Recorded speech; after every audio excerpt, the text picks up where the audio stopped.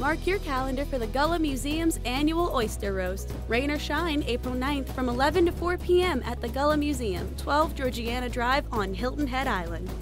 General admission is $10 and all you can eat oysters is an additional $30. Activities include Gullah music and community speakers, as well as children's activities and food vendors. For tickets, go to gullahmuseumhhi.org or call 843 681 3254.